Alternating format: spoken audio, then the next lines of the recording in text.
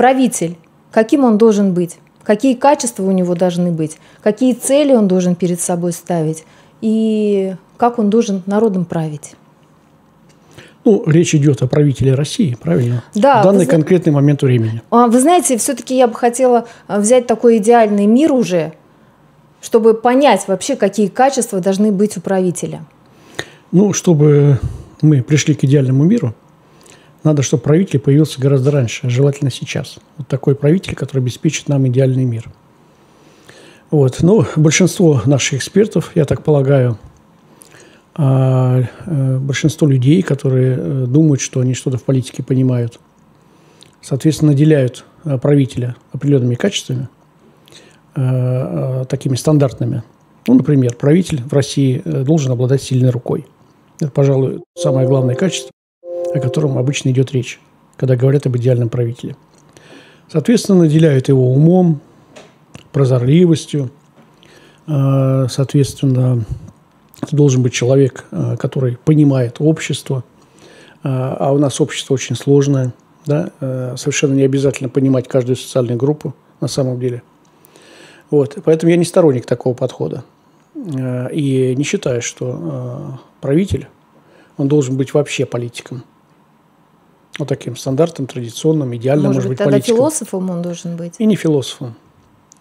Нет, это э, человек должен быть э, нетривиальных, человек нетривиальных качеств, да, э, где, э, ну, если, допустим, сравнивать с нынешними руководителями, нашими политиками, то э, перевернутый с ног на голову или с головы на ноги. То есть, условно говоря, вот сегодня политика у нас чем отличается вообще? Я имею в виду даже не президента, а, а именно тех людей, э, которые говорят, о, он сильный политик. Сильный политик у нас сегодня – это э, человек, который беззастенчиво врет, да, и не краснеет. По любому поводу, да. И в этом смысле э, нравится народу, потому что он говорит популистские вещи. Сегодня одно, завтра третье. Не важно, что он будет делать. Да, приспосабливается к ситуации и так далее, и так далее. Вот таких людей считают политиками. Я считаю, что идеальная политика – это тот, кто э, в принципе не врет. Ну, он может умалчивать какие-то вещи, но э, врать ему э, чрезвычайно болезненно. Это как бы не соответствует его принципам, э, и он готов поступиться чем угодно, своей карьерой и так далее, но не готов врать. Это первое. Второе. Это политик, который, э, в принципе, не ворует. Ну, в принципе, имеется в виду такое сильное ударение. То есть человек, который не ворует, которому абсолютно все равно, что у него в кармане.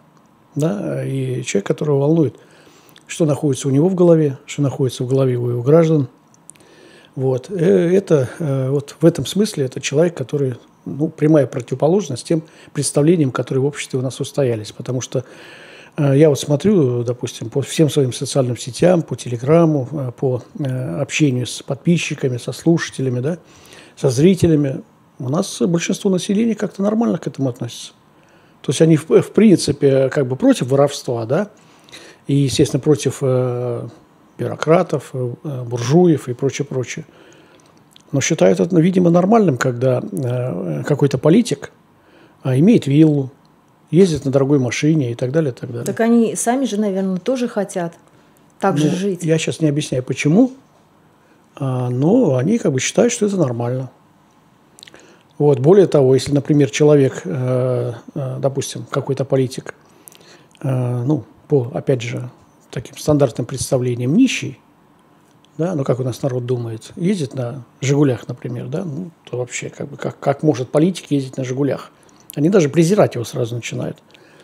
Вот, я не утверждаю, что вот, э, политик национального масштаба должен ездить на «Жигулях», но, тем не менее, в голове у него должны, должны быть нематериальные объекты, э, не наживы. Более того, он должен этого сторониться, э, сторониться всего, что связано с таким материальным обеспечением – ну, то есть, грубо говоря, ну, я могу на себя померить, да, в том плане, что, ну, допустим, э, там меня избрали каким-то большим шишкой, да, и что, я начну э, после этого, не знаю, э, тратить свое рабочее время для того, чтобы заработать кучу денег непонятным образом, чтобы купить себе виллу или нагнуть государство, использовать служебное положение и так далее, и так далее, чтобы кайфовать где-то, значит, в домике в Испании или еще вот пользоваться какими-то материальными объектами – мне вот это совершенно неинтересно. Ну вот сегодня, знаете, с Игорем Алексеевичем беседу, беседовали угу. на эту тему. И вот он как раз это сказал, что те, кто до власти доходит, они все э, меняются. Ну, не совсем так. Э, тут другая причина следственной связи. Доходят до власти те, кто как раз ставит перед собой такие цели. Потому что те люди, которые, например, э, нарушают правила игры и не играют в общие игры, да, там, где как раз принято э, воровать и врать, их просто не пускают выше. Потому что все остальные думают, так, подожди-ка, мы туда идем для чего? Он не свой. Да, мы идем туда консолидированно, всей нашей общей бандой для того, чтобы завладеть каким-то куском государственного ресурса, его пилить и прочее, прочее. А тут появился какой-то значит, товарищ, который нам вопросы задает куда-то поднимется, так он, во-первых, взяток брать не будет, бизнесом не будет заниматься, соответственно, какая от него польза? Самое главное, мешать будет. Ну, так естественно, да. Польза никакой, а вред э, весьма возможен. Поэтому от таких людей избавляются еще на уровне муниципального Но все-таки такие люди есть, да, потому что я ну, с Игорем конечно, Алексеевичем спорила на эту тему, как это так, э, что нету нормальных людей которые не зависят от денег? Есть люди, которые э, дорастают в аппарате государственном, да, именно в силу того, что они профессионалы, что они исполнительные люди. Вот. Ну, естественно, до муниципального образования нет проблем дорасти, да, поскольку там особо, особого спроса нет, и у муниципалов там денег нет. Но такие люди дорастают и внутри отдельных аппаратов. Я, например, знаю отдельных товарищей, э, которые владеют, которые Э, руководят э, конкретными аппаратными структурами. Вот, э, и понятно, что когда заходишь в их кабинет, у них там в основном книжки, документы, все завалено, они все время в работе. Да? Такие люди есть, их немного, но они необходимы. Вот я в свое время был тоже замминистра, ну, имеется в виду зам председателя госкомитета одного. Вот, и у нас было 6 или 7 замов, и, соответственно, мне вот министр сказал, что Володя, ты хороший парень, да, но ты министром никогда не станешь. А, значит, ну мы тебя держим. Почему? Потому что должен же кто-то работать. Вот. Ну, к счастью, помимо меня еще там один был. Два человека работали. А, и, собственно, а, на это, на это министерство и опиралось. А все остальные занимались личными делами. Вот. Поэтому, возвращаясь как бы к вопросу, ну, нужно ломать эту систему. Как ломать, в том числе и посредством того, что продвигать а, людей совершенно иного типа. Вот прям противоположного типа тому, а, который сегодня господствует. А, в Продвигать кто будет? Да все, каждый человек. Вот условно говоря, ты идешь на выборы. Вот уже первый твой шаг.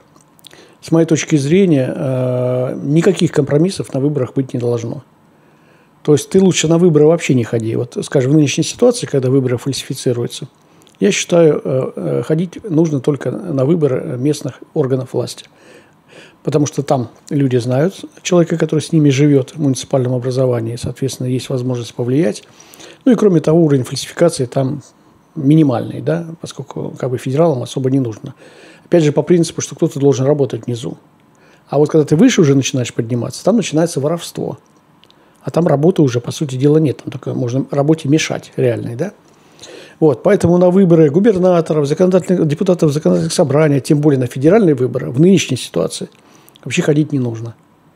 Да? И, в принципе, нужно придать астракизму этот институт, который сегодня из важнейшего института демократии превратился э, в важнейший инструмент манипуляции и фальсификации.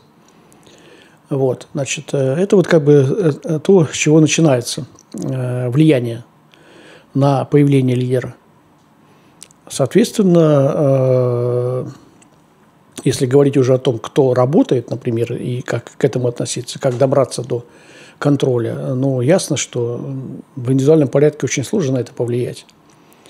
Вот, и э, люди должны объединяться в как бы низовые организации с тем, чтобы в рамках некой системы, такие системы созданы сегодня, да, только о них мало кто знает и тем более особо не пользуются.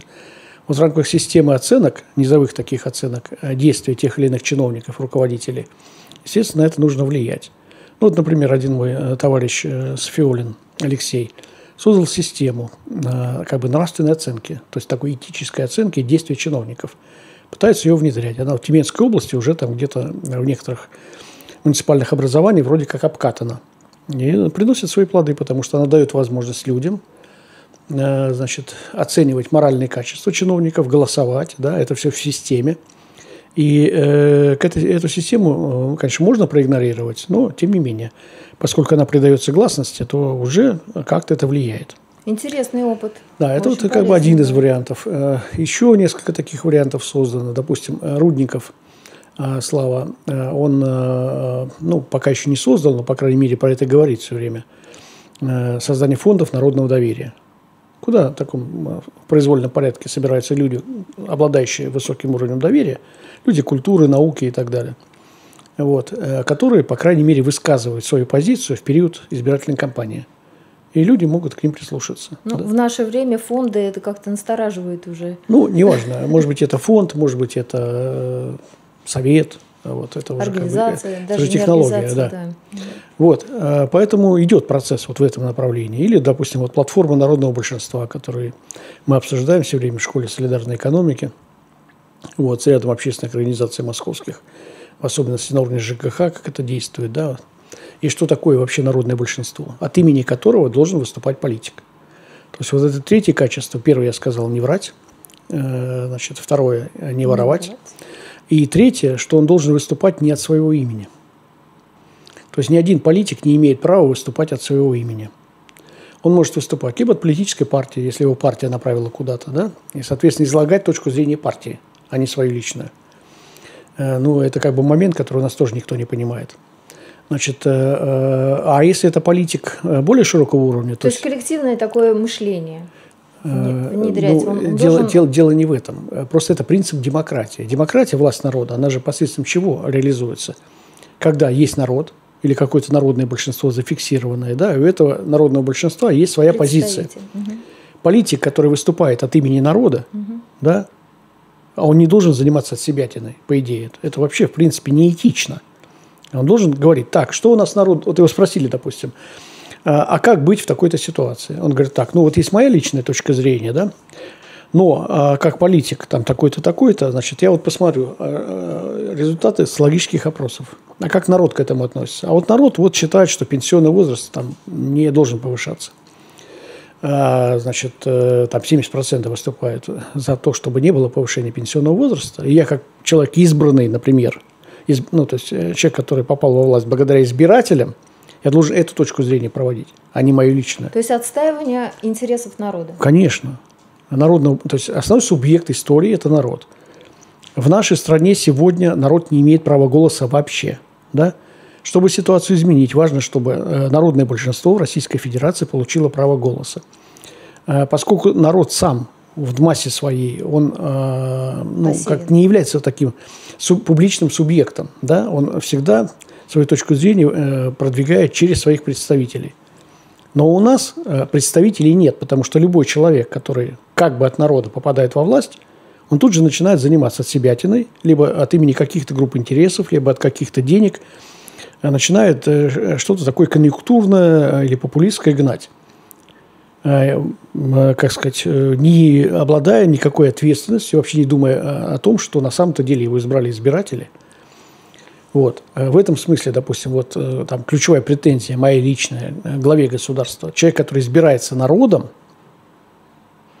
то есть он, его не партия какая-то политическая туда посадила, да, ну так формально. Мы понимаем, кто его посадил, но тем не менее. Значит, э, не партия «Единая Россия», не там какой-то круг людей, а есть всенародные выборы. И дальше ты приходишь и, вопреки народному мнению, повышаешь пенсионный возраст, например. Или вопреки народному мнению э, продвигаешь там какую-то позицию Клауса Шваба или еще кого-то из-за рубежа. Ну, народ-то молчит. Да не, он, нет, народ не молчит. Народ как раз высказывает свою позицию, если проводятся социологические опросы. Вот видно, чего народ хочет – но просто эта его позиция, да, она э, не пропускается в, официальные каналы информационные. Да, вот как доносят еще информацию. Все, поэтому э, народ простой человек, да, который работает там где-то, у него есть позиция. Но эта позиция власть не интересует, во-первых. Да, во-вторых, не созданы каналы, чтобы простой человек высказывался. Наоборот, все эти каналы закрыты. То есть у нас любая пресс-служба, например, она работает не для того, чтобы какой-то руководитель э, имел обратную связь да, во-первых, контактировал с населением, имел обратную связь, а наоборот, для того, чтобы отгородить этого руководителя от этого самого народа. Вот. Но глава государства, ее, то есть вся система власти в данном случае, да, а, а, они что, не понимают, что в ситуации, когда э, проходят всероссийские общенародные выборы, избирается глава государства, то основная платформа, с которой он должен действовать, это мнение населения. Вот этих самых избирателей. А получается раз от разу обман, обман, обман. То есть сначала обещание, что я буду ваши, продвигать ваши интересы, народ голосует, и дальше человек начинает какую-то от себя тяну гнать. Да, то есть принимает какие-то решения, которые вообще непонятно кем э, ну, продвинуты, обоснованы и так далее. Владимир Анатольевич, а вы думаете, что все от Путина зависит? Потому что у нас э, народ делится где-то 50 на 50, наверное, кто не, я верит знаю, я Путину, знаю, как народ а кто делится. не верит. Я знаю, как народ делится, это социология, все это известно. Но я не говорю, что все от Путина зависит. Но от него зависит 90% того, что происходит. Потому что, ну вот смотрите, есть у нас политики, да, э, если система выстроенная, э, официальная система, да, функционал такой, чтобы э, какие-то политики отвечали, ответственность несли за свои слова, за свои действия. Нет такой системы. Вот, единственный политик, который, еще раз повторяю, у нас же ни члены правительства не избираются народом, да, а, даже депутаты там в значительной степени не избираются народом, потому что люди голосуют за политические партии. Вот. А, но вот так вот всенародно избирается президент. И поэтому а, в его функционал входит гарантировать права людей, да, права и интересы людей, с одной стороны. С другой стороны, он как бы ответственность несет, потому что на него показывают пальцем. Что бы ты ни сделал, что бы ты ни сказал, это твоя ответственность. И поэтому возникает вопрос, а в чем эта ответственность заключается? И э, ты что, не должен чувствовать, что раз тебя народ избрал, то ты и должен постоянно находиться с ним, с ним в связи. Ну и ваше мнение, почему так все происходит? Ну, потому так и происходит, потому что выборов нет, а есть узурпация власти. То есть до него не доходят э, вот эти вот мнения народа?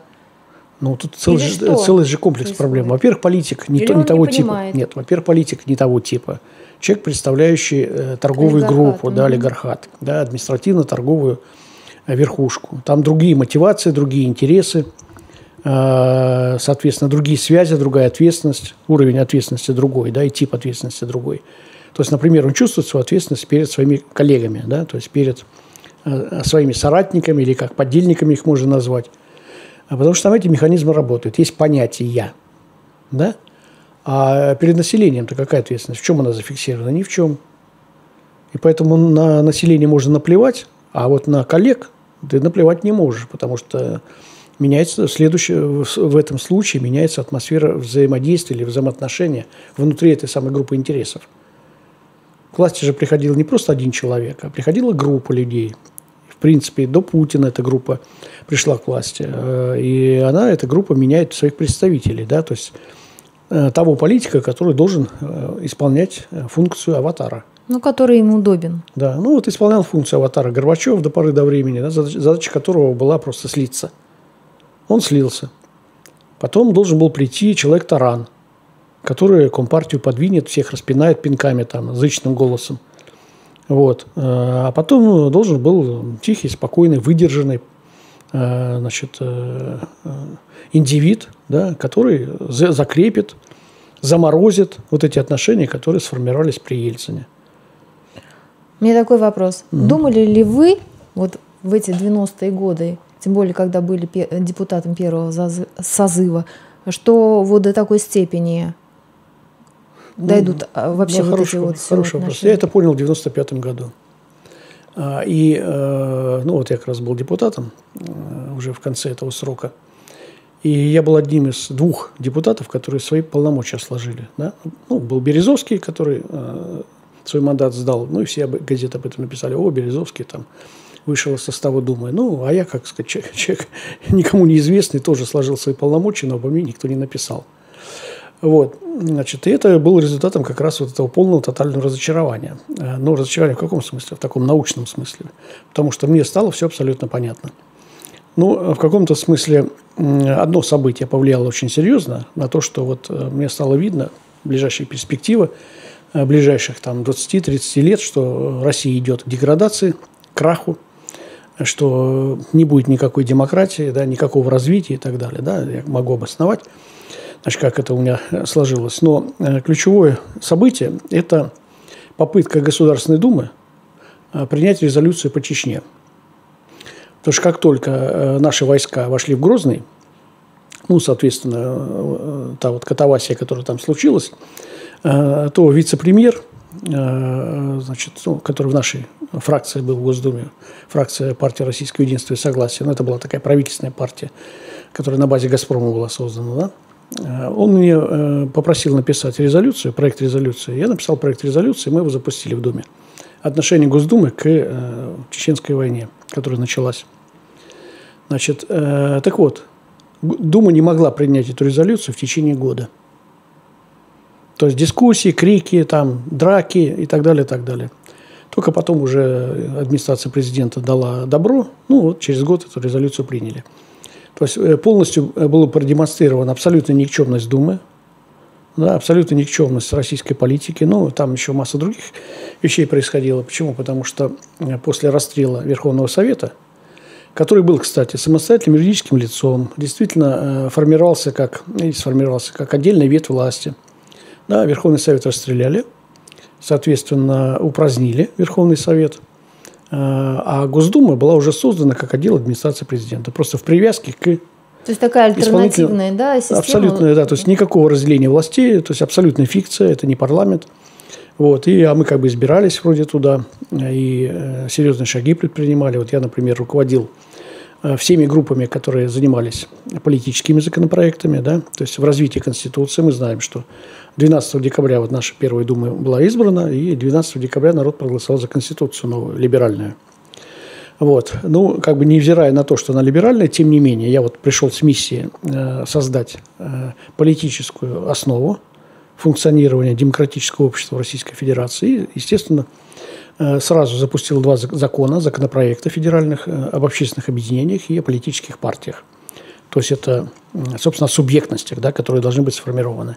Ну и потом вслед за этим еще с десяток законопроектов э, о профсоюзах, э, значит, э, о благотворительных организациях, о, о молодежных организациях, о господдержке – об альтернативной гражданской службе. Э, самое главное, избирательные законы. Ну, избирательный закон не я запускал, просто я от нашего комитета в них участвовал. Они все работают, да, до сих пор? Да-да-да. Дальше. О митингах, шествиях, демонстрациях, пикетированиях. Вот это очень важный закон. О запрещении нацистской фашистской символики. О политическом экстремизме Российской Федерации. То есть все политические законы. Вот понятно, что какие-то были приняты сразу, какие-то позже, какие-то были завернуты. Ну, например, были завернуты важнейшие, с моей точки зрения, законы, которые должны способствовать были э, становлению демократии в Российской Федерации. Ну и до сих пор их не пускают, и я думаю, что и в ближайшие десятилетия не пустят. Первый закон – это э, о правом регулировании лоббистской деятельности федеральных органов государственной власти. Ну, он нашумел в свое время, и даже первое чтение проходил, ну, естественно, его потопила администрация президента и правительства. Да? Правительство давало, давало три заключения отрицательных на этот закон. Потому что как же так олигархов контролировать? Нельзя. И второй, э, тоже важнейший э, и очень показательный, потому что даже коммунисты его не хотят двигать, и понятно почему, это закон о, правовых гарантиях оппозиционной деятельности в Российской Федерации. Да? Э, это то, что есть, например, в некоторых странах Европы, в том плане, что, допустим, есть победившая партия, которая получает себе правительство, но возникает вопрос, хорошо, а кто у нас официальная оппозиция? Она что, не должна иметь прав после проигрыша? И вот в ряде европейских стран, той же самой Германии, например, оппозиция получает как альтернатива, да, в качестве баланса, э, если, допустим, победившая получает себе правительство, да, канцлера, то э, проигравшая партия, допустим, социал-демократы, получает себе под контроль комитет по бюджету в Бундестаге. Да, и вот такой баланс возникает.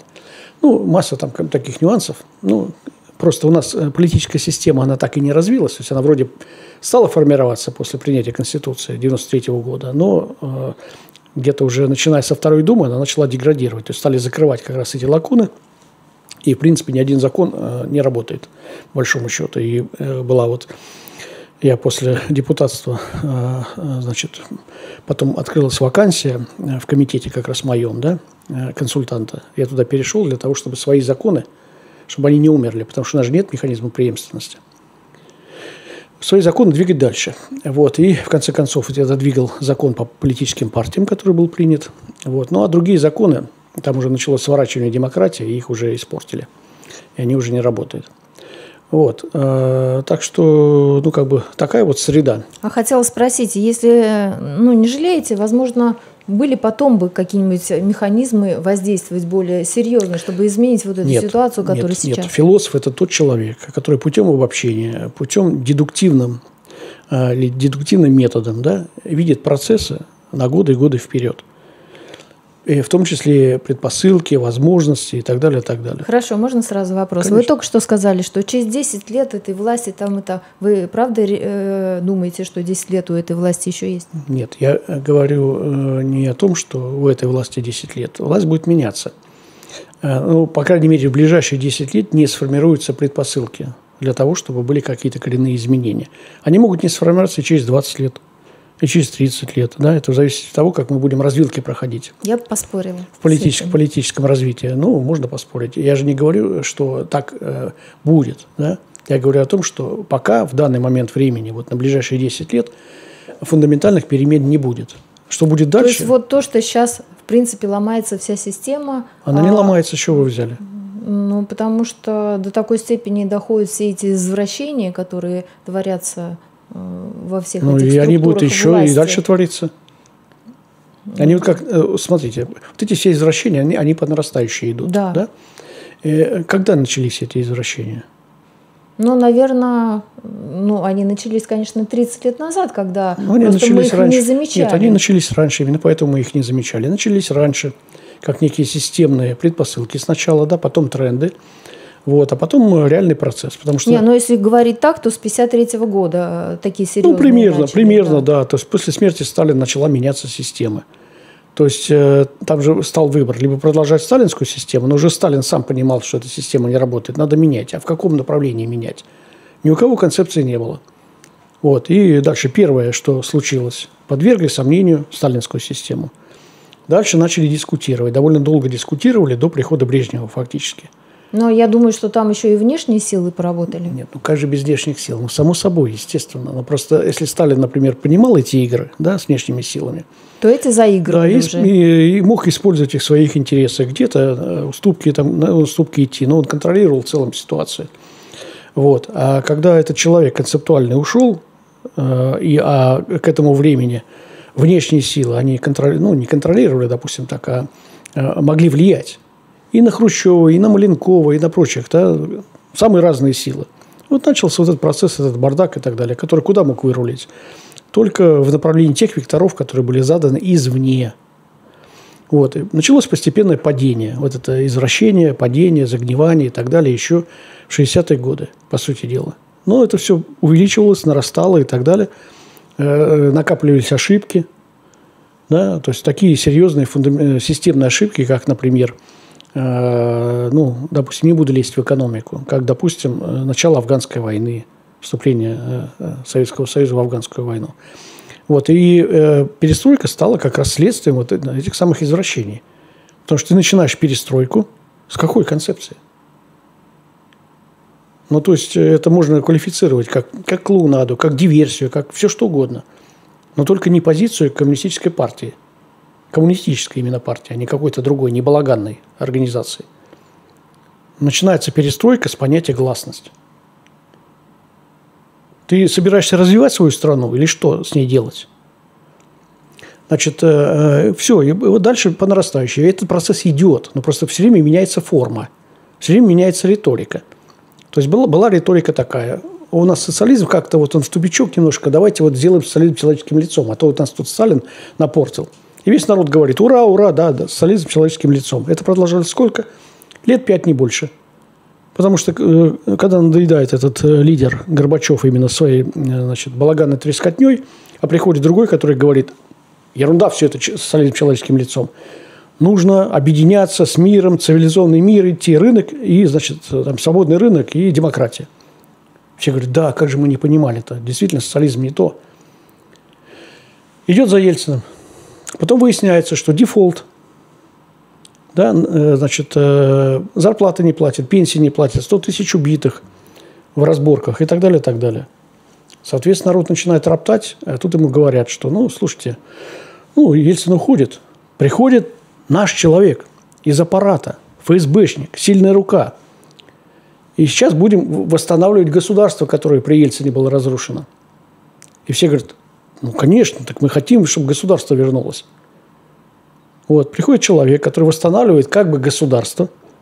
Потом через 20 лет выясняется, что он не государство восстанавливал, а он своих, э, обогащал своих друзей. Торговали, торговали, торговали. Они строили государство, и государство исчезло. У нас группы, торговые группы просто есть. Поэтому снова начинается виток демагогии, который заключается в том, вот, специальная военная операция, вот сейчас мы, да, мы поняли, оказывается, неправильный был курс, мы слишком сильно легли под Запад, сейчас мы э, суверенизацией займемся и вообще, э, э, как сказать, ну, Западом порываем, все, возвращаемся на, консерватив, на консервативное начало, э, значит, э, на э, платформу традиционных ценностей. Демагоги чистейшей воды. Меняют форму, по содержанию все то же самое. Могу рассказывать, что будет. Не будет ни реального сектора развития, да, никакой суверенизации нет.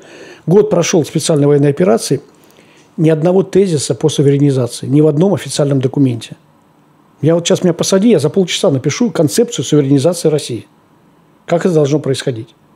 По всем направлениям. В экономике, в политике, там, в культуре и так далее. Почему глава государства вот с посланием выступал, ни слова про это не сказал, только говорил про врагов.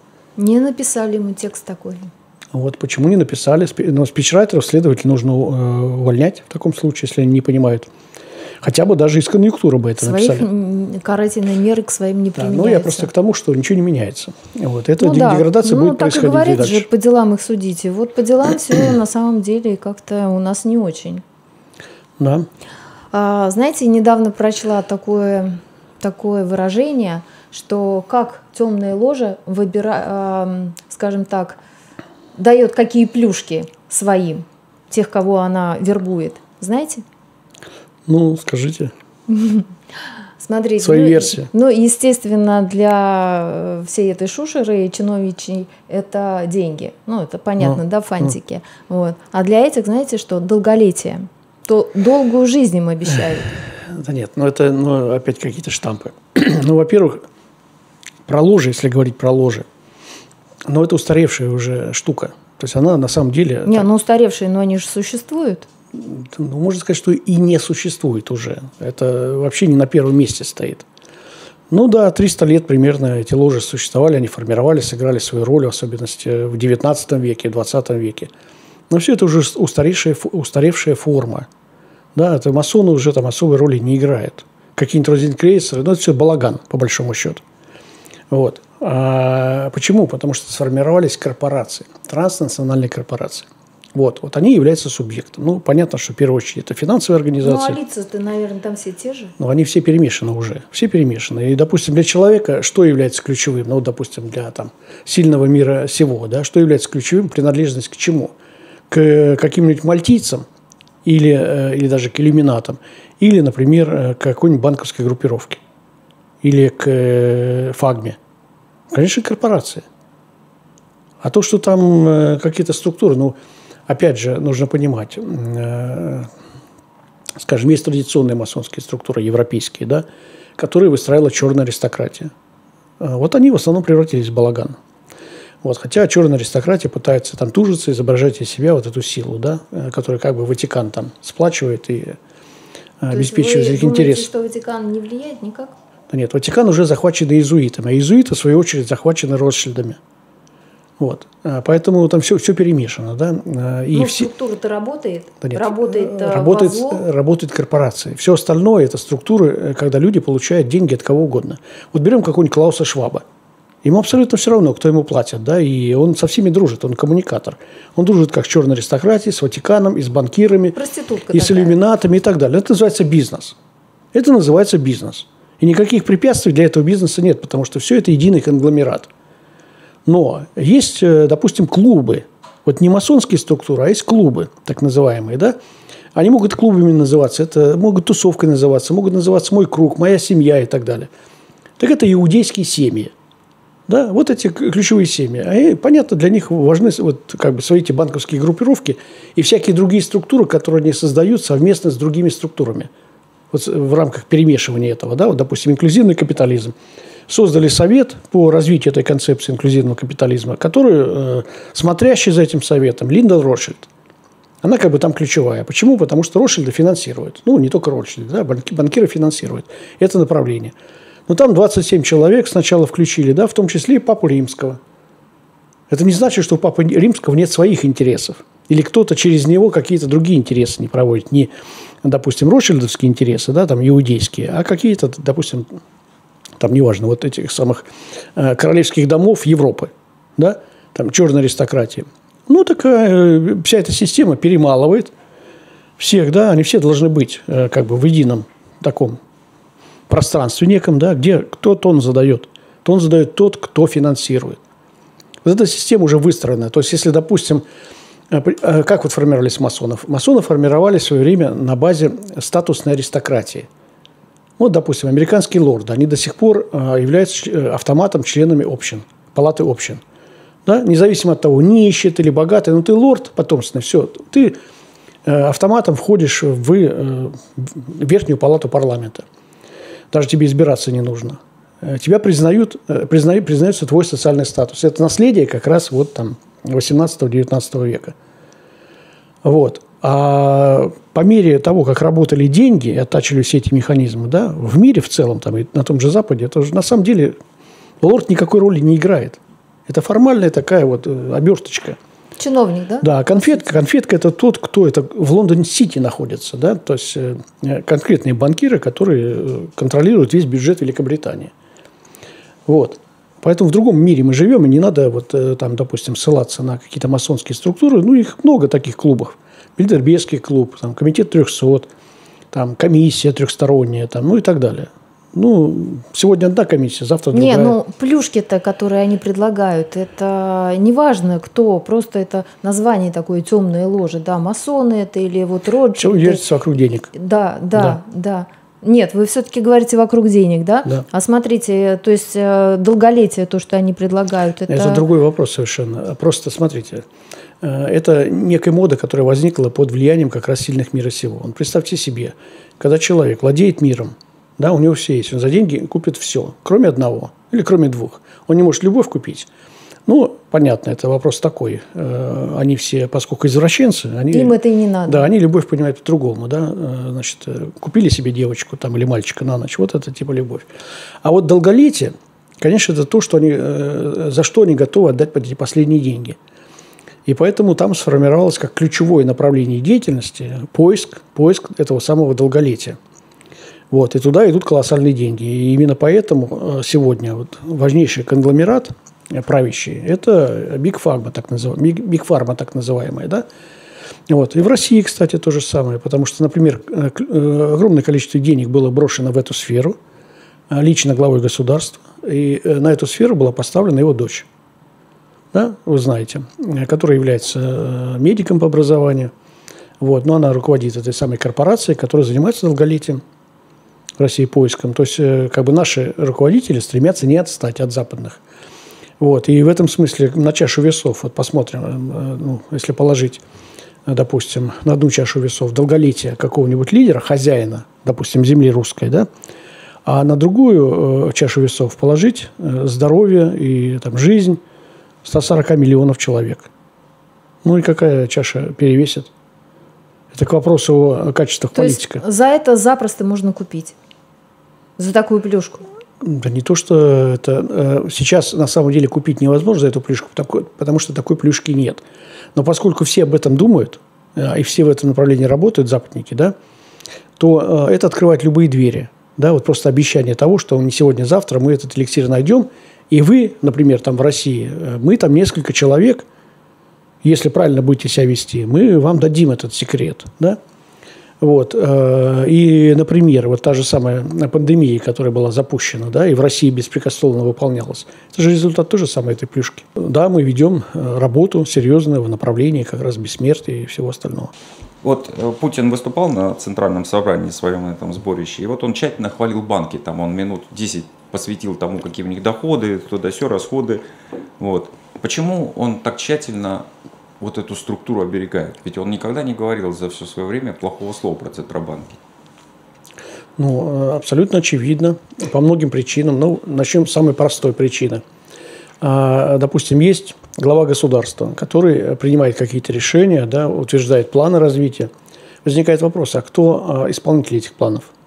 Поскольку у нас государства нет, То есть есть госорганы, но они приватизированы, они не работают. Всегда возникает вопрос, кто основной институт, основной инструмент реализации тех или иных задач. А, ему подсказали, и так сложилось, э, и он не видит других вариантов, что у нас все делают банки. Ну, прямой пример, простой пример приведу. Допустим, ипотека. На это выделяются э, большие деньги. Но кому эти деньги выделяются? Не ипотечникам, то есть не людям. По, по, по логике вещей, условно говоря, э, допустим, какая-то семья хочет влезть в ипотеку. И правильно было бы, чтобы эта семья получила деньги от государства. Нет. Эта семья идет в банк, и под 10%, 12%, там 15 даже процентов влезает в долги к этому самому банку.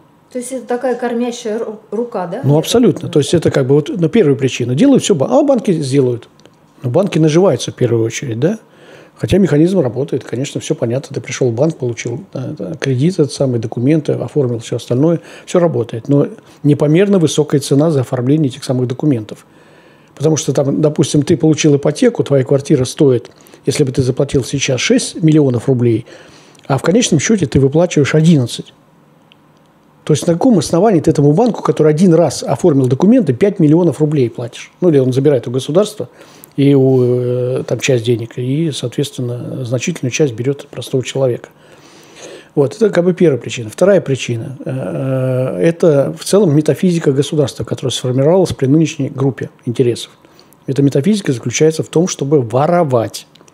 Но имеется в виду не в примитивном таком смысле, да, что карманы обчистить, а в том смысле, что вся экономика движется в направлении торговли, торговли, еще раз торговли. А почему торговли? Потому что есть ресурсы, да, э, в, ней, в эти ресурсы деньги не вкладывали – Э, нынешние руководители, они просто это приватизировали под себя или, скажем, поставили под контроль.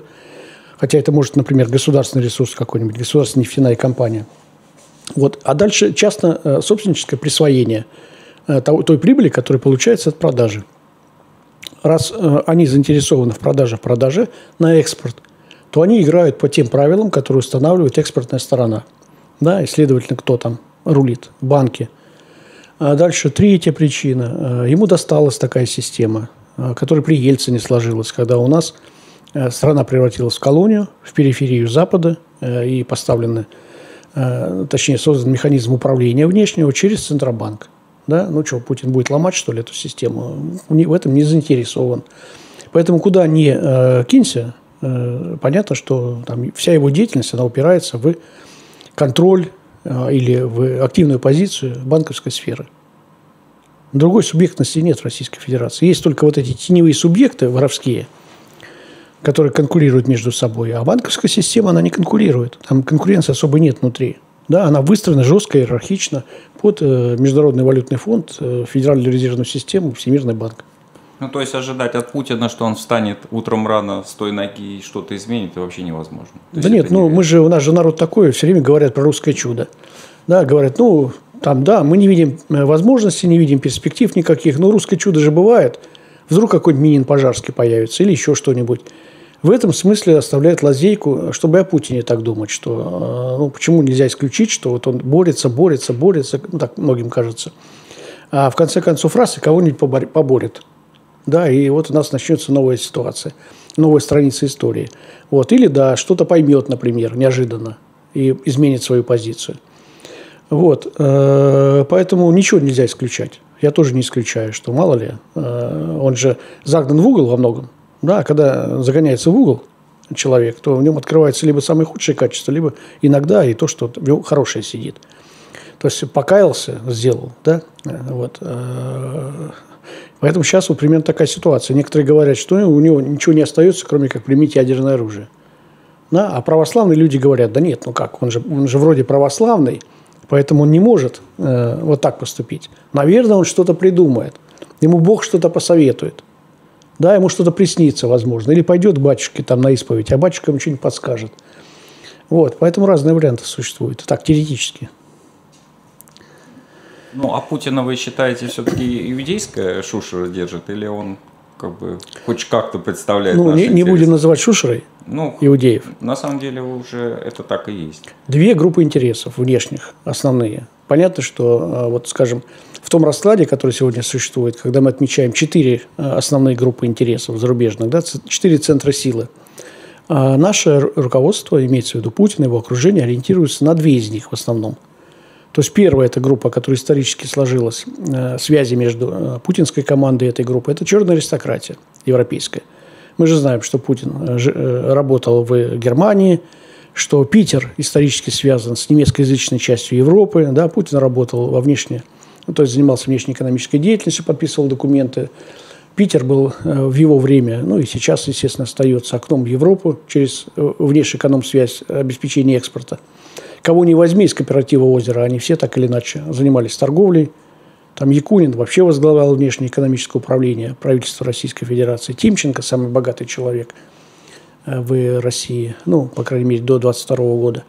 А, он возглавлял тоже торговый отдел в НПЗ Кириши, а сейчас является крупнейшим трейдером нефтяным. Ну и так далее. То есть, как бы всех перечислять не буду. В этом смысле изначально ориентация на Европу. И поэтому друзья Путина, принц Монако, Берлускони, Шрёдер, все это представители черной аристократии. Это как бы вот первая группа. Э, королевские дома Европы плюс Ватикан. Да? Ну и вторая группа, которая плотно стоит за как бы российским руководством, это все, что связано э, с э, ну, иудеями, действительно, но нужно понимать, какими иудеями. Хасиды? Э, потому что, да, в, до прихода Путина у нас ключевой организм, и поэтому друзья Путина, принц Монако, Берлускони, Шрёдер, все это представители черной аристократии. Это как бы вот первая группа. Королевские дома Европы плюс Ватикан, да? Понизился, а появился ФИОР – Федерации еврейских общин России, которую возглавляет Борода, ну и, соответственно, хасидское движение при нем, которое возглавляет э, Берлазер.